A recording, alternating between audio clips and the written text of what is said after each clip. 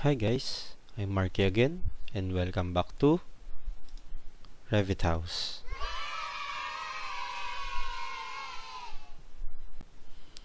Now that we save our Revit project and we understand how Revit backup works for an independent Revit file, so we can proceed to our levels. So when setting up a project, it's very important to set up first your levels because the grids is dependent on the levels. You will understand about the levels depend uh, the grid lines being dependent on the levels once we go for the grid lines. So for now we need to check which or how many levels we have for this project. So I've opened up the AutoCAD file, the original AutoCAD file that we have for this project I just need to or we just need to look for the levels that we need to create for our projects. So currently we have the a lot of levels about one two three four five six level indicator or maybe this one is a mistake so we'll just count it as five levels. So we have the first floor the second floor top of beam and roof level we'll just call this as roof level. And the lowest one which is on the 0 0 level will be the ground level. Okay? So these are the levels that we need to create in our Revit project. Now that we know how many levels we need to create we can go to our elevation view. So these are our elevation view to create the levels Levels, you can find it under Architecture, Datum, Panel, Level. Level is only created in elevations and sections. You cannot create it using floor plan view. Okay, so what we need to do is to create or to go to our elevation view. Either either one of this will do so we'll just have to click uh, maybe the south elevation. Double click the south elevation. There you can see the level. You can see that the level 0 here is the same level 0 that the floor plan is viewing as well as the ceiling plan view. So this is the level 0 referring to these floor plans and ceiling plan views. This is the level 1 and this is the level 1 view of the floor plan uh, in the project browser and the ceiling plan. So this is the level that is referring to. Okay? So currently the level is distance at 4000 high from the zero elevation. But we need to create some more levels aside from these two. But first things first we need to rename our level. So I'll just rename the zero level as ground level. Oops it's up to you if you want to made it or create it as a all capital but I will just use the normal title text format. So after renaming so you just have to enter there. So Revit will prompt us about uh, renaming the corresponding views. As I've mentioned earlier a level is corresponded with the views from the project browser. If you say yes Revit will automatically rename these two views. So what we can do, is we just have to select yes for this one and then Revit will rename it for us. Okay, now we just have to rename this the second level which is the level 1 to first floor. So first, so how to rename? Select the level. Once select the level, you just have to hover your mouse to the level 1 word and then edit the parameter. Then click the or type the type in the desired name that you wanted for this one. So first floor since the project is is from the Philippines so the level will be uh, named as floor. In Singapore we use here the word story. Okay? So first floor would you like to rename corresponding views? Yes. There you go. then we will change the elevations of the first floor level so what we can do is we just need to select the 4000 because the for the first floor uh, level which is at 4000 high is the one that we need to move so we we don't move using this which is the pick and drag because it's not accurate. What we need is the accurate level uh, elevation. So we have two options. We can just use simply the parameter level or we can just use the listening dimension that we have here. Either way it's fine. So we can use the 4000 here or the 4000 here. Okay? So we'll just have to go 4000 to the parameter and then I'll put the 300 so currently it's overlapping because of the scale. So what we can do to view it more nicely while we, while we creating the levels we can just use the 25 1 is to 25 scale. There you go. So we have it just nice on the uh, on the distance from the text to the level. So how to create new levels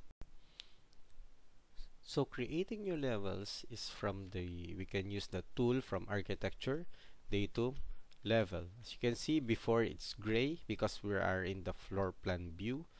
Now that we are in the elevation view we have it uh, we we have the command already for the levels.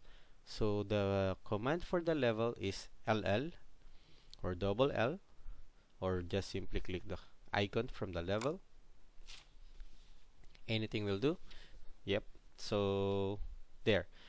So creating levels is like creating just a simple line. Either above the level that you wanted to have or below the level that you want to have a reference with. So either of the two is is fine. So the first one that I will teach you is uh, while drawing the line so when you're drawing the line is as you can see it's locking to the other levels as well. It's detecting the locations of the grips of the other levels so that you will create it more neat and more properly. So don't create it anyhow like this here without the proper locking to the other levels. So at least you will have the you will see the advantage of the of locking the levels to the other levels so that it will move together with the other levels. You will see it later. So for now I'll just go for another level here above the first story level then or first floor level. Then I'll click the line. I will lock again also here. There you go. So now that I have this level I'll just have to escape escape cancel the command and I will correct the elevations of our level 2 so first floor is 300 the second floor is plus 28 or plus 2800 from the first floor. So I can use this to specify the 2800 which is the listening dimension or I can just do the math. From the 1360 to plus 300 so I'll just have to input the or sorry 2800 plus 300 so that would be uh, the level of our level 2 or second floor. So I'll show you the two way how we can do this. So I'll just click this level 2 and then for this one I will use the listening dimension so I'll specify 2800 so there you go. We have it as like that. Or I'll undo first. Undo. Or I can just simply click this one. I'll use this level. I won't need to I cannot put 2800 here because nope. I need to add the 300 this value is always referencing to the zero elevation. So it won't be uh, referring to the first floor. Unlike the listening dimension it is directly from the uh, level below the the level that you are uh, moving. So for this one I will I cannot put 2800 exactly here because it will be 2800 from the ground level. What I can do is I can just simply put the equal symbol and then I'll put the 2800 plus the first floor which is 300 so as you can see we have the same result but different approach. So it's up to you guys which one you choose. Okay? So that should be the level. So what if I have 37 story? Do I have to draw lines like that again and again up to until I finish it? Yes and no. You can do it as like that by by uh, by putting lines or you can you can just use also the level again and then use the pick line. And then you when you use the pick lines here you have some options above here. So you have an options to make the plan view types with a structural plan floor plan and ceiling plan. So I can just uncheck the structural plan because I need only the floor plan and ceiling plan. So and then I click OK. And then I can just simply specify the distance from level 2 which is 2600 up to the top of the beam. Then I can simply hover my mouse to this level 2 as a reference.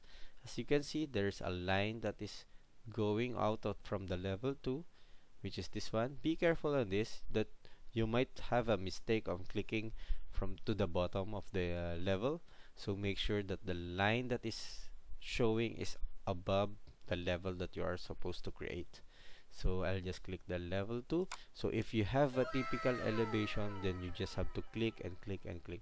So it's much more easier so I have the 5700 here which is level 3 and then another 2550 for the roof level. There you go. So I have level 3 and level 4 which is this will be the top of the beam and this this one will be the roof level. So of course we need to rename our level so this one will be our second floor. So same question. We just have to say yes. And then for level 3 it will be the top of beam. Yes. And then our roof level. Yes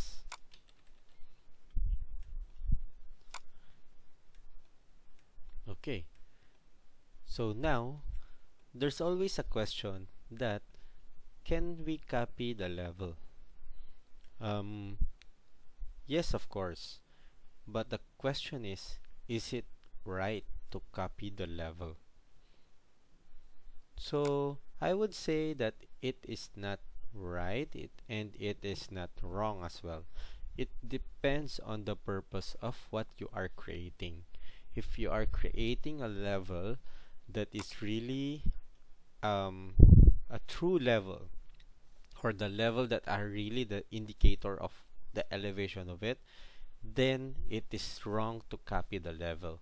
But if you are uh, copying a level or you are creating a level that is a true level meaning indicator of the second floor and the first floor the roof beams and the roof level then it should be it shouldn't be the copy command you need uh, that you will need to use.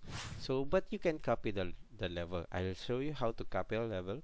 So I'll just click the level that I want to copy and then I'll just command the copy or CO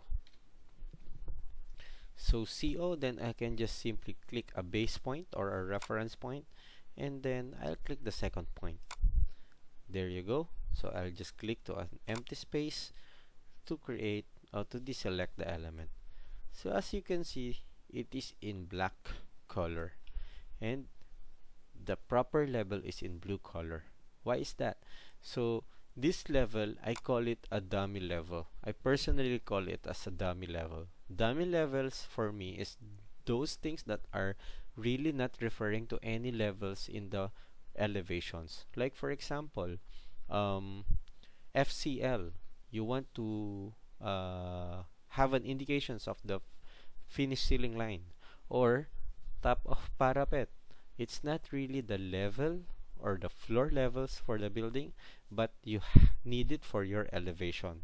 So or top of roof apex or maybe bottom of beam. If you have a top of beam then you want to specify your bottom of beam. So something like that so these are the the most commonly uh, areas or types of levels that you just need to copy the level. So it is not wrong and it is not really the uh, correct. It depends on your uh, preference of levels that you are doing. Alright so I just have to delete this level. Select and delete. Yep.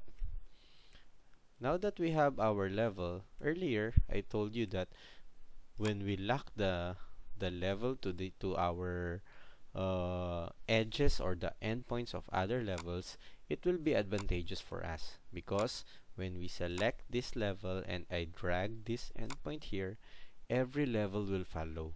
So that's the good about it. So that we don't need to uh, one by one extend the levels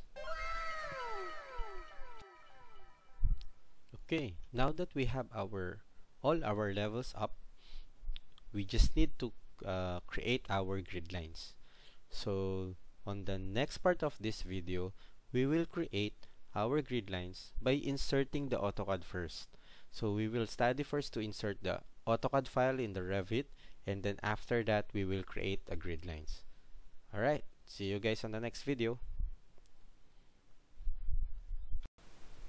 so if you like the content of our lecture series please click the like button and share it with your friends.